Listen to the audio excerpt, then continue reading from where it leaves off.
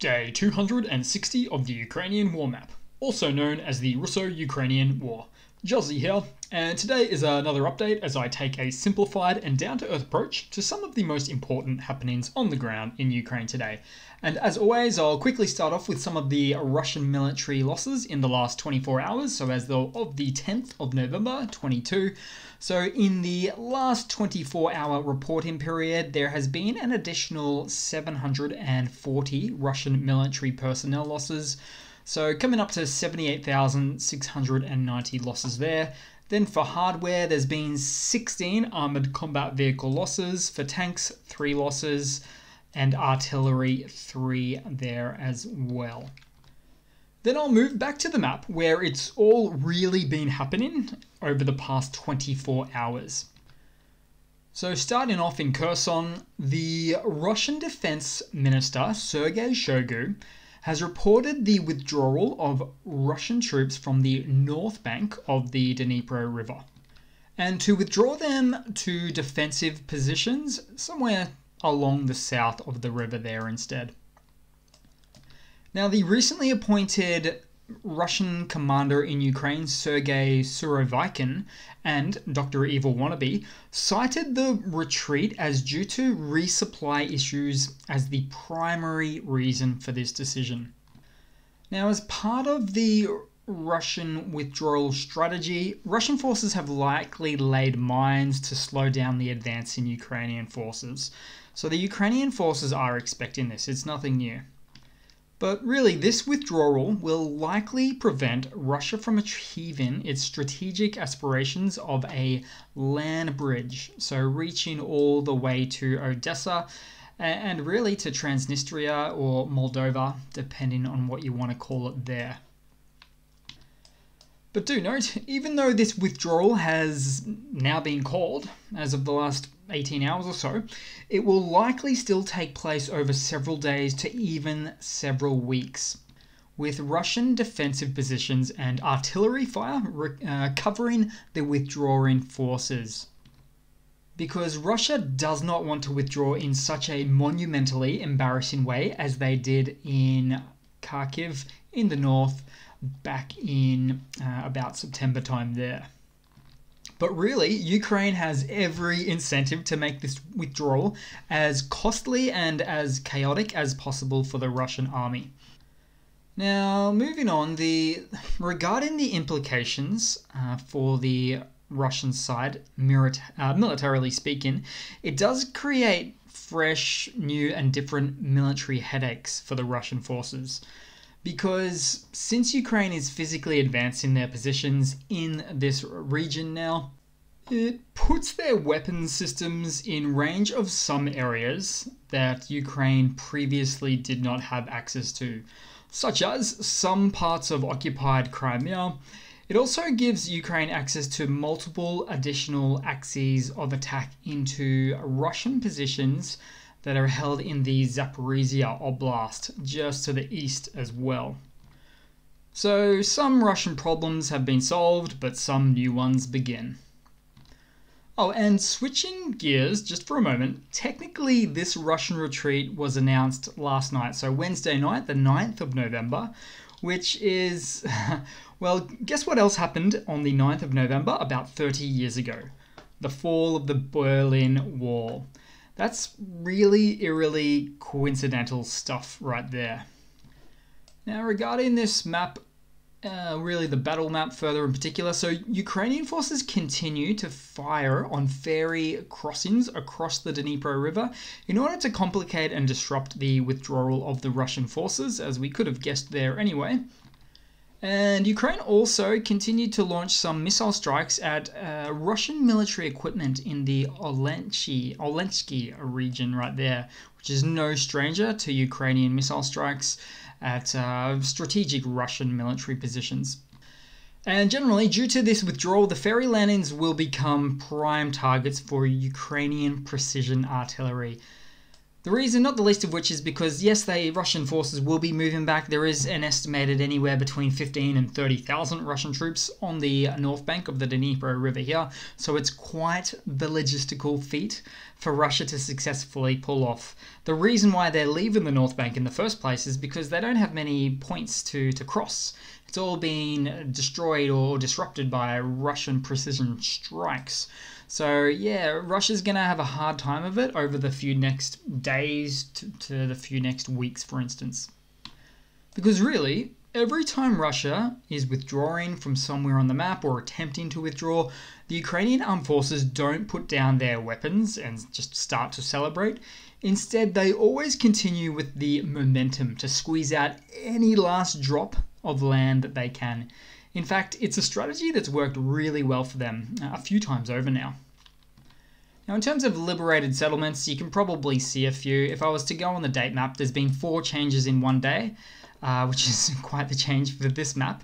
Because of OPSEC, it doesn't update straight away, but quite the few changes there. Now, there's a lot of, uh, yeah, these liberated settlements in the last 24 hour period, and there's more than we even know right now. It's a very fluid situation on the ground with respect to this map. But we're talking uh, places like Snirorivka that we can see there in the, the middle of the well, the Midrift, in fact, that's technically in uh, Mykolaiv, Or sorry, Mykolaiv. I'm thinking that there's too many towns the same. So technically in Mykolaiv, the Oblast. So uh, yeah, just to technically point that one out. Also in Kalinivsky and Dadchany, a little bit further over.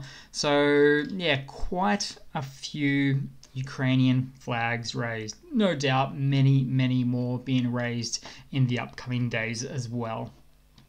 Oh, and just in terms of captured Russian hardware, if you watch my videos, you do know that I mentioned these. So I found a couple of examples of Russian captured hardware in the last day, like this BTR or this T62 tank with its wicked cope cage. Uh, wicked and useless, but I'm sure we'll see a lot, lot more soon as well. And then just a quick update on the other big front line in this war. So we are talking the Donbass region, where the armed forces of Ukraine advanced about two kilometers, or approximately 1.3 miles, in the Luhansk direction. And the Ukrainian army is also performing heavy artillery fire right now as we, as we speak on Russian positions near Svatove and Kreminna the really the, the two main next settlements that Ukraine is looking to liberate in this northern part right here. Then we'll move across to a little bit of news for the day. So, Ukrainian President Volodymyr Zelensky, in his most recent nightly address, said that he urged restraint despite uh, a lot of joy in the media space today.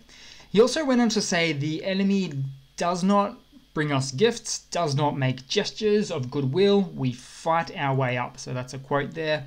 In other words, he is being cautiously steadfast about recent gains and only judges Russia by their actions, never by their words, which is something I like to repeat a lot on this channel. And in some more news, so internationally, Russian President Putin announced he will not be attending the upcoming G20 summit in Bali, Indonesia next week. Instead, his foreign minister, Sergei Lavrov, will be going. This way, due to the recent embarrassing losses, Putin gets to save face simply by just not showing it. And moving on, in another Russian mobilization blunder. So, in this video, we have wives of the the, the recently mobilized Russian soldiers are here to support their husbands. So this is at an administrative uh, city administration building. Now, of particular concern to the wives uh, that they're expressing here is that their mobilized husbands in Ukraine near the front lines are telling them each time a commander sends, so a Russian commander sends groups of mobilized to the front line, that these groups never come back. In fact, one wife here, I believe, used the term meat grinder, a term that you have perhaps heard a lot in this war now. Then, as the video continues, this one compassionless city administrator, who they are voicing their concerns to, would rather bury his head in the sand about the concerns.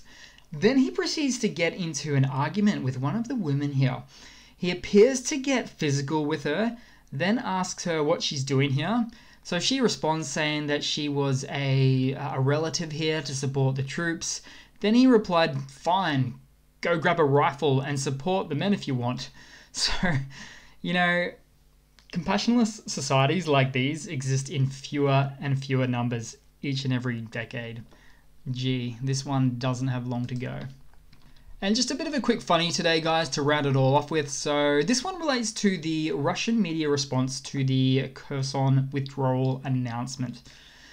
But just for a little context, in order for me to make this channel work, I have to unfortunately subject myself to horrendous amounts of Russian propagandist state TV media every day, which means spending countless hours of watching them speak some real propaganda horse poop.